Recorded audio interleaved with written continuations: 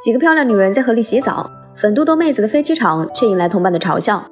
乔乔姐，你的胸脯，嗯，咋还是这样呢？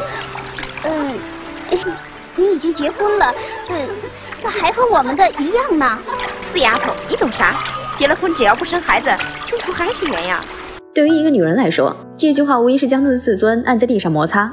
但奈何乔乔偏偏爱上了一个不爱自己的男人，新婚夜独守空房不说，结婚十几年连碰都不碰他一下。伏牛山下的伏牛湾是他从小长大的地方，听名字就知道，对于这个地方的人来说，牛有多么重要。因此，乔乔便从小学会了喂母牛接生的技能。他与赵静和西兰三人是青梅竹马，然而这两人却是一对热烈的情侣，整天腻歪在一起，这让乔乔是有苦说不出。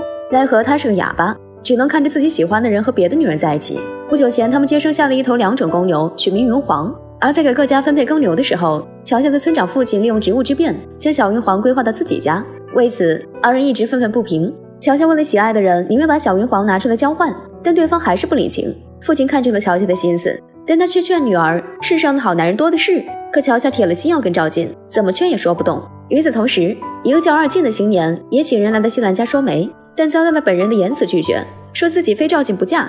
这天，赵进上山放牛，百无聊赖之时，等来了猎人送饭。两人聊着聊着又腻歪在一起，躲在树后面看着这一切的乔乔心里很不是滋味儿。可两人的动作越发肆无忌惮，甚至就在野地里放飞自我。乔乔则是难过的低下头去。这时二金也来到这里，作为一名思想开放的舔狗，认为只要西兰没有结婚，自己始终是有机会的。于是他找了个理由支开乔乔，随后趁二人不注意，松开了牛的缰绳，将他放走。等到赵静和西兰醒来时，太阳都快下山了，可左看右看，才发现牛不见了。他们急忙四处寻找，还是找不到。天黑之后，请来村民一同寻找，可快把山都翻过来了，还是没有找到牛。赵进父亲气得一巴掌甩在儿子脸上，众人则是急忙上前阻止。冷静下来后，还是只能认命，说这都是牛神爷降下的灾祸。对于赵进和西兰两家人来说，这的确是灾祸。分配时是两家共用一头牛，没了公牛就意味着必须用人力犁地。西兰家没几个男丁，没几下就累得个半死。就在这时，二航走了过来，他怎么会放过这个千载难逢的献殷勤的好机会呢？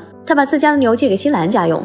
但他也大方表示，自己就是在和赵进竞争，因此这牛只能借西兰，不能借赵进。听完这话的西兰愤而离去。赵进因为没有牛，依然只能靠人力来耕田。西兰看着心爱的男人肩上那一道的伤疤，心疼不已。他拿出了自己压箱底的钱给赵进，让他去找村长贷款。但赵进依然对分牛的事情耿耿于怀，不愿意拉下脸去求村长。但人在屋檐下，哪有不低头的？只能老老实实接受西兰和父亲的建议，提着酒和肉去找村长求情。村长一看是赵进上门，就故意为难他。乔乔在一旁撒娇，请父亲帮帮赵进，但村长依然不为所动，还指责赵进学这些送礼的旁门左道。赵进的自尊心瞬间破防，拿起桌上的白酒和猪肉，扭头就走，一把将这两个东西全都摔在了路边。西兰立马追出来安慰，说村长明摆着在针对赵进。这时二航又走了过来，他告诉赵进，想要得到牛，还有另外一个方法，办法就是赵进娶乔乔。西兰怒斥着二航，这都什么时候了，还在乱开玩笑。然而说者无意，听者有心。当晚，赵静就趴在了乔乔家的牛棚上，看着这个正在喂牛的可爱女孩，她终究是流下了不争气的泪水。为了生活，她选择了妥协。女人将血液滴在剪刀上，然后一把插进墙壁里。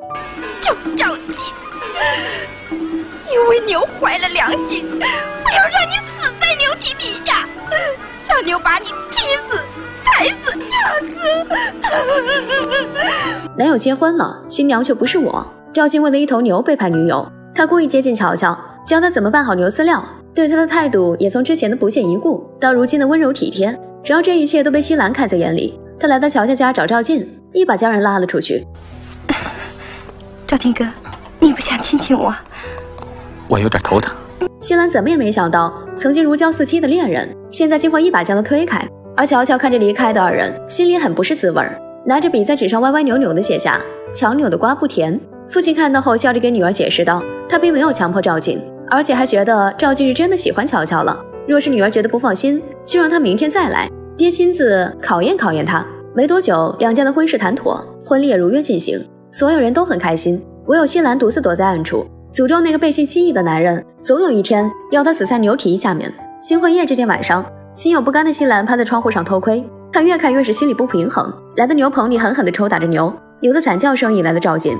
当他来到牛棚查看情况时，却看见了泪眼婆娑的西兰，两人一发不可收拾，在牛棚里就打起了架来。第二天，乔乔收拾着乱七八糟的草垛，他知道昨晚这里发生了什么，却并没有阻止，也没有声张。结婚三天后是新娘回门的日子，娘家已经做好了一院子的好菜。然而临近中午，仍然不见小两口的影子。乔乔根本没有心思，他独自来到河边，心疼地擦拭着小牛的伤口。然而赵静则是来到西兰家，他对西兰依然念念不忘，想找他道歉，说不该为了牛而抛弃他。但现在，就算赵静跪下来，西兰也不愿意再见他一面。村长找了半天，终于找到了女儿，发现女孩刚过门没三天，竟被叫去割草，气得父亲直接冲进赵静家找人理论。就算女儿是哑巴，但有他这个父亲在，就没有人能欺负她。话虽这么说，但日子还是得过。赵静靠着这个村长岳父，又获得了两头奶牛，成为了村里人人都羡慕的对象。奶牛每天能产六十斤奶，他们家也渐渐富裕了起来。然而赵静的乔乔仍没有一丝感情，没有亲吻，没有拥抱，甚至连碰都不碰一下，就像两个睡在同一张床上的陌生人。乔乔心中虽然无奈，但依然爱着赵静，靠强忍着委屈过日子。新婚之夜，新娘褪去外衣等候新郎洞房，然而直到她进了被窝，丈夫依然不为所动。这种情况持续了半年，每晚入睡前。女人总会换上最好看的肚兜，然而她的丈夫却从来没有碰过她。而这一天，村里的其他女人发现了乔乔的不对劲，她们嘲笑乔乔是飞机场，结婚那么久了，胸脯却还是跟未婚少女一样小。一番话直接戳了乔乔的肺管子。婚后丈夫不碰她，是因为根本就不爱她。赵进娶乔乔只是为了一头牛，而赵进这边靠着村长岳父捞得了不少好处，手上的钱越挣越多。很快，他便不满足于此，想要开一个更大的养牛场。于是他在和岳父商量之后，借着他的面子，以低价买了几十头牛，然后面向全村招聘工人，要求初中以上文化，每月工资六十块，还包三餐。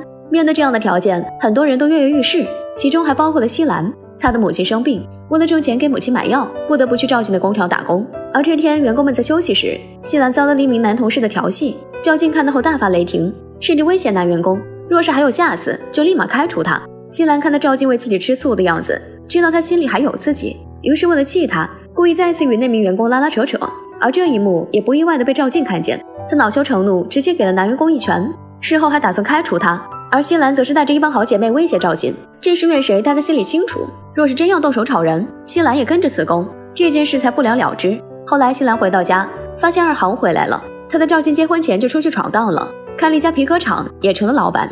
如今挣了钱，打算也在村里开个工厂，但他依然没有忘记西兰，依然想要娶西兰为妻。不久后，村里召开大会，选拔村长。刘冠山因为思想落后，总记着那一亩三分地，认为庄稼人就该老老实实种地。结果在场没有一个人为他举手，反倒是西兰被拱了出来。他由于办事利落，文化程度也高，获得了村民的支持。新官上任三把火，他当天就从赵庆的工厂辞了职，还答应了二号的求婚，并且帮他落实了皮革厂的选址，还要在开张那天办婚礼。西兰同时还查到，赵静靠着前任村长开办牛场占了不少便宜，看在大家都是同学的面子上。赵静的牛场被迫成为了皮革厂的供应商，没有了岳父的撑腰，他懊悔不已，犹如一条丧家之犬，把一切归咎于村里的那棵牛头树，想烧着来泄愤，还嚷嚷着都是因为牛，自己才落了这样一番田地。然而在二航与新郎的新婚之夜，二航却说了一个隐藏多年的秘密：当年那头消失的牛就是他放跑的。西兰不可置信地看着二航，要不是因为他，后来也不会发生这么多事儿。随着房间灯光的熄灭，楼下的赵静再也坐不住了，她就像自己结婚那天的西兰一样。冲进牛棚，狠狠地鞭打着牛，牛挨打了，突然就发起疯来，追着赵静跑了半个村子。